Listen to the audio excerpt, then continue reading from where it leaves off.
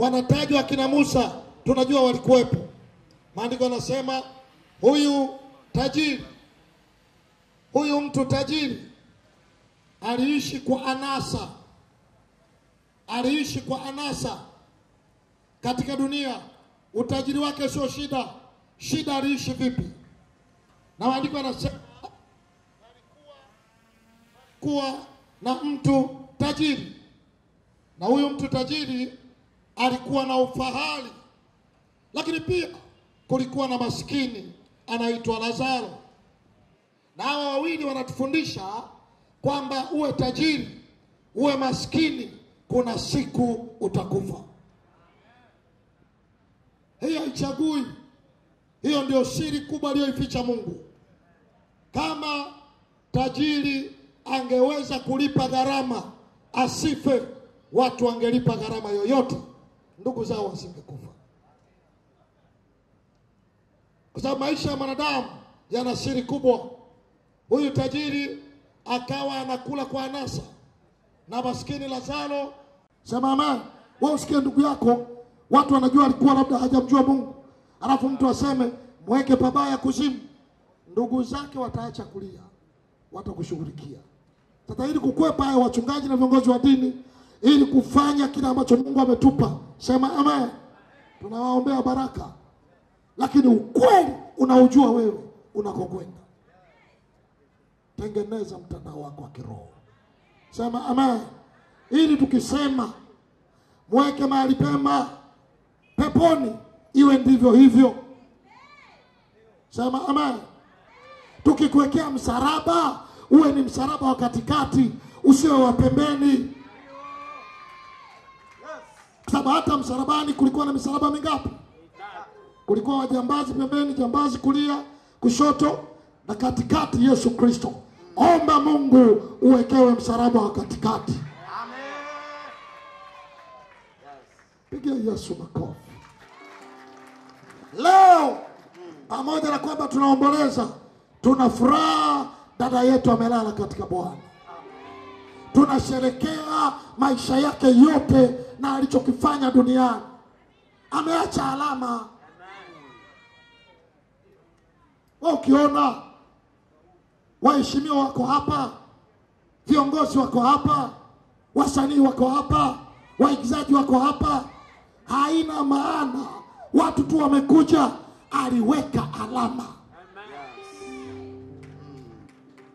Kwa lugha nyingine, maisha yake watu duniani yaligusa maisha yake, yaligusa maisha yao.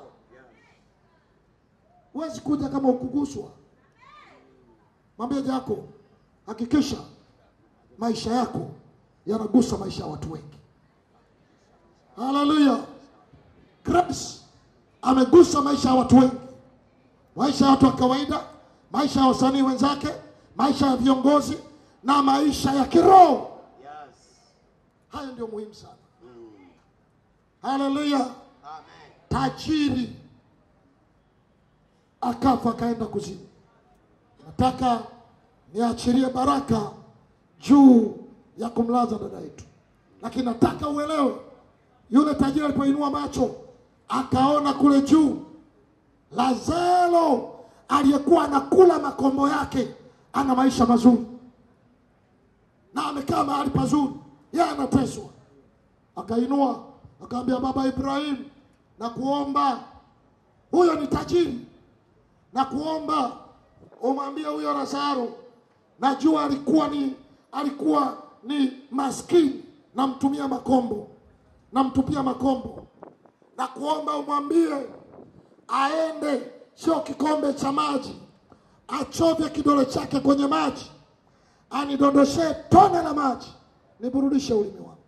Hiyo sio hadisi, hiyo ni jambo lililotokea. Ibrahimu akamwambia, mwanangu, hakuna uhusiano kati yetu na nyinyi, hatuna mahusiano. Yeye anafurahia maisha baada ya kumcha Mungu. Wewe ulitengeneza mtandao wako wa kiroho upande wa kuzimu, na zaidi ya hayo hakuna mahusiano. Kuna shimo, shimo kubwa katikati yetu na sisi, yenu nyinyi na sisi. Hatuwezi kuja huko wala nyinyi hamwezi kuja huku. Kwa hiyo beba ulichokipanda.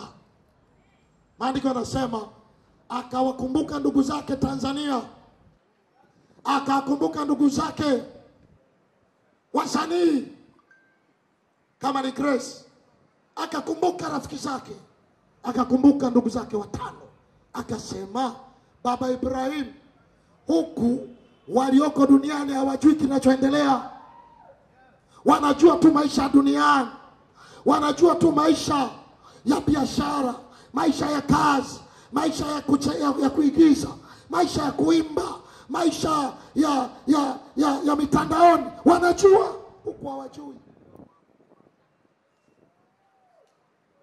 kinachoendelea. Naomba umtume Lazaro akawaambie wenzangu, akawaambie waimbaji wenzangu, akawaambie wasanii wenzangu, akawaambia akawaambia wafanyabiashara wenzangu, wawaambie kinachoendelea huku, wasije wakaja hapa